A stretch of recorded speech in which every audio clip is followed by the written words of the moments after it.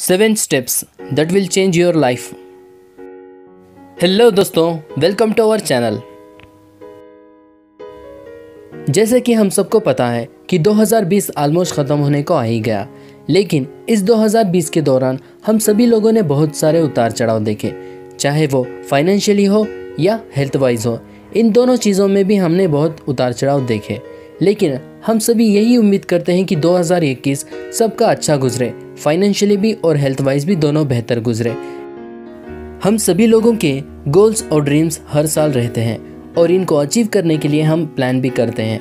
लेकिन प्लान करने के बावजूद भी हम अपने गोल्स और ड्रीम्स को अचीव नहीं कर पाते। लेकिन इतना सब कुछ करने के बावजूद भी कुछ लोग इसमें सक्सेसफुल नहीं हो पाते, क्योंकि उनके पास स्टेप बाय स्टेप प्लान नहीं होता। लेकिन आज की इस वीडियो में मैं इसे seven step by step plan tips दूँगा, जिसकी मदद से आप इजीली अपने प्लान को अचीव कर सकते हो और अपने ड्रीम्स और गोल्स को अचीव कर सकते हो। स्किप करे बिना पूरी वीडियो को देखिए और सब्सक्राइब करना ना भूलिए। चलिए शुरू करते हैं। स्टेप वन हैव क्लैरिटी हम सभी लोग चाहते हैं कि हमारे सपने पूरे हों और हम उसमें कामयाब हों, इसलिए हम सब लोग उसे स्टेप बाय स्टेप प्लान में कन्वर्ट करते हैं। इतना सब कुछ करने के बावजूद भी, लेकिन हम उसमें कामयाब नहीं हो पाते, क्योंकि हमारे पास क्लैरिटी नहीं होती। क्योंकि क्लैरिटी हमें क्वालिटी देती है। क्वालिटी जिसे हम रिज़ल्ट कहते हैं। अगर आपके पास क्लैरिटी ही नहीं है तो आप उसमें कामयाब नहीं हो सकते। जैसे कि फॉर एग्ज़ाम्पल महेंद्र सिंह धोनी। उनका हमेशा एक ही सपना था कि वो क्रिकेटर बने और अपने सपने को हासिल करें। और उनके माइंड में एक तरह की क्लैरिटी थी कि उन्हें क्या चाहिए और वो किस तरह हासिल करेंगे।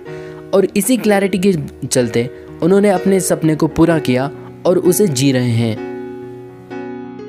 इसी प्रकार हम सब लोग चाहते हैं कि हमारे साथ बेहतर हो, लेकिन हम सभी लोगों को पता नहीं होता कि एग्जैक्टली हमें क्या चाहिए। इन सभी चीज़ों को देखते हुए हमने आपके लिए ऐसे चार सवाल तैयार किए हैं, जिसकी मदद से आप इजीली अपने गोल्स और ड्रीम को अचीव कर सकते हो और अपने आप को पूछ सकते हो कि आपको क्या चाहिए।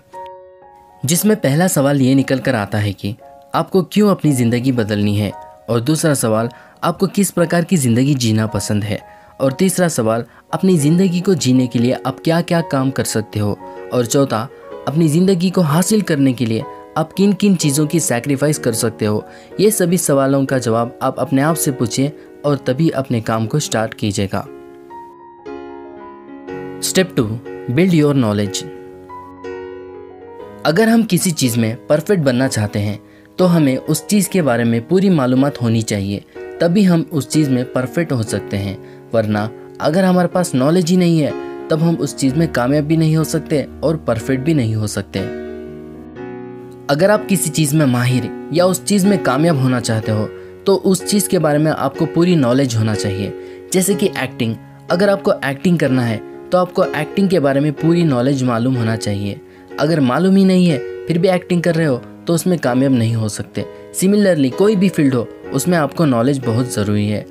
तो इसीलिए कहते हैं नॉलेज इज़ पावर अगर आप चाहते हो कि आप एक फ़ील्ड में महारती हासिल करो तो आपको उस फ़ील्ड के बारे में पूरी नॉलेज होनी ज़रूरी है। नॉलेज के बिना आप कुछ नहीं कर सकते। आप सिर्फ़ हार्डवर्क कर रहे हो नॉलेज ही नहीं है तो आपको कुछ भी फ़ायदा नहीं पहुंचेगा। तो हार्डवर्क के साथ आपको नॉलेज भी होना उतना ही ज़रूरी है। नॉलेज और हार्डवर्क एक दोनों समान है। तो इसलिए आपको नॉलेज और हार्डवर्क दोनों करनी है। तभी आप उस फ़ील्ड में इजीली कामयाब हो सकते हो। Step three start taking actions actions लेना शुरू कर दो। एजुकेशन नॉलेज विजडम और थिंकिंग बहुत ज़रूरी है लाइफ में। लेकिन एक्शंस लेना बहुत ज़रूरी है लाइफ में, क्योंकि एक्सपीरियंस ही हमें आगे बढ़ाती है।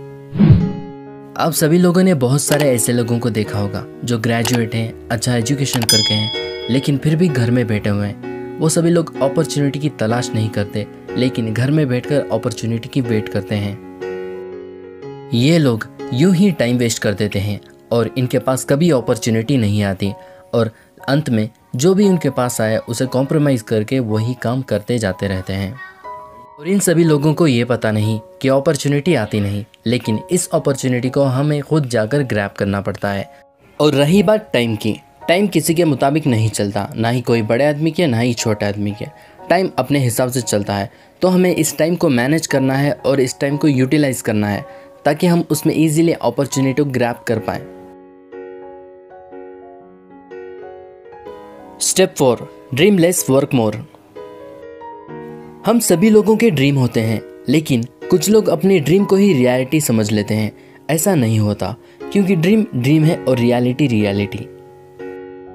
और कुछ लोग ऐसे होते हैं, जो अपने ड्रीम को रियलिटी में कन्वर्ट कर लेते हैं, लेकिन कुछ लोग ऐसे भी होते हैं, जो अपने ड्रीम को रियलिटी में कन्वर्ट नहीं कर पाते और रियलिटी समझ लेते हैं। सपने देखना गलत बात नहीं है, लेकिन सपने को रियलिटी में कन्वर्ट कर लेना यही गलत है। तो हमेशा सपना देखिए और सपने पर काम कीजिए ताकि आप उस सपने को इजीली हासिल कर पाओ और उससे साकार कर सको।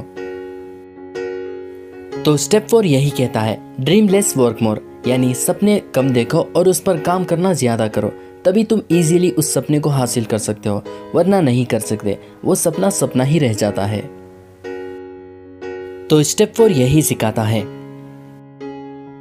Step five fail learn and apply जैसे कि हमें पता है फेल्यूर सक्सेस की तरफ़ पहला कदम है। लेकिन कुछ लोग इसे मानते नहीं।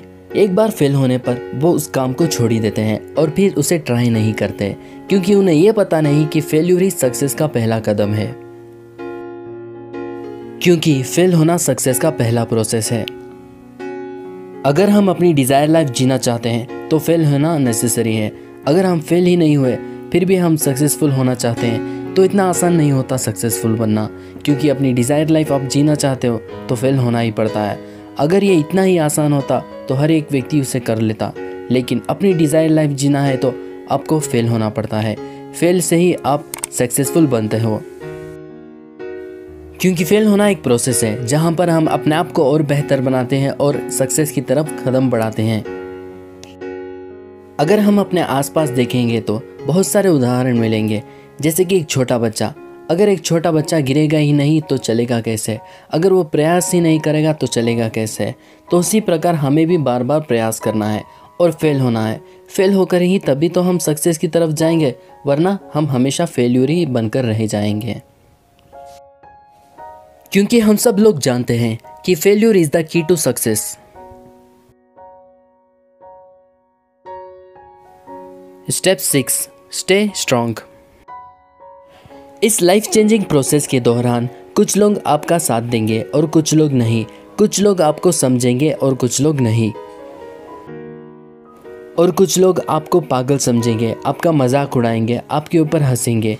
लेकिन यू नो वॉट वो आपकी तरह नहीं है। आपकी तरह अपनी लाइफ के डिसीज़न नहीं ले सकते और अपनी सपनों को हासिल नहीं कर सकते। वो अपने कंफर्ट जोन में रहना पसंद करते हैं। लेकिन आप अपने सपनों के प्रति काम कीजिए। और उसे सक्सेसफुली हैंडल कीजिए। आप ज़रूर सक्सेसफुल हो जाएँगे। और ये सभी लोग आपको कमज़ोर समझेंगे, क्योंकि वो आपकी तरह बेटर लाइफ जीना नहीं चाहते। वो अपनी फैमिली को, अपनी फाइनेंशियल सिचुएशन को हाई पे लाना नहीं चाहते। लेकिन आप डटे रहिए, आप स्टे स्ट्रांग रहिए, ताकि आप अपने सपनों की तरफ़ और आगे बढ़ पाओ। और हमेशा ऐसे लोगों को देखें जो आपको मोटिवेट करें। और आप ऐसे लोगों को फॉलो करो जो आपको मोटिवेट करें और और भी सक्सेसफुल बनने में मदद करें। Step seven remember you have only one life आपके पास सिर्फ़ एक ही ज़िंदगी है।